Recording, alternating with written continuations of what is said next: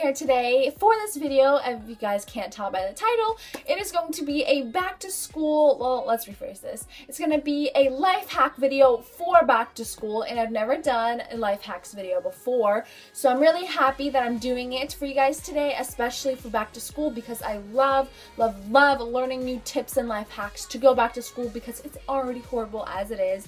So if I uh, find out new tips and things to make my life better for back to school that I've been doing wrong this whole time, I am a happy person. So I hope you guys find this video helpful, but before we get to this video, pause this video and please, please, please subscribe to my channel. I'm almost to 300 subscribers, which is crazy, so please subscribe and let's try and get this video to 15 thumbs up if we can. And now we can finally get started to this video. I hope you guys find this helpful and let's get started. Let's Marvin Gaye and get it on. So, for life hack number one, this involves if you have any tests that include words and you memorizing their definition. So, the night before, any morning that you want, specifically the test day, you write down all the words you need to memorize and there you don't have to write down the definitions just the words and then the next morning when you're doing your hair and makeup you just say the word out loud and then um, tell yourself the definition and it saves a lot of time in the morning. If I got locked away and we so for life hack number two, it is really, really simple. All you have to do is pack your backpack the night before.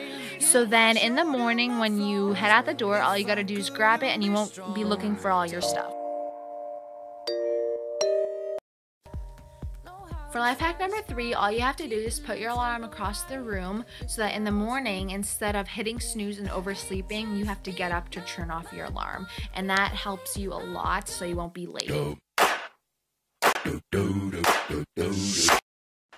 So for life hack number four, this is to plan your schedule if you have any sports involved. So let's say you have practice every day. Before practice, you want to do your homework and eat a snack, and after practice, you want to take a shower and go on your phone.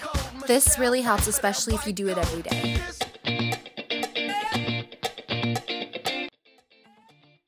For the last and final life hack, it is to plan your outfit ahead of time so that in the morning when you're looking for what to wear, you're standing in front of your closet for 15 minutes wondering what you should wear for school that day. And this obviously saves you a lot of sleep and it's just ready in the morning so you can put it on and go.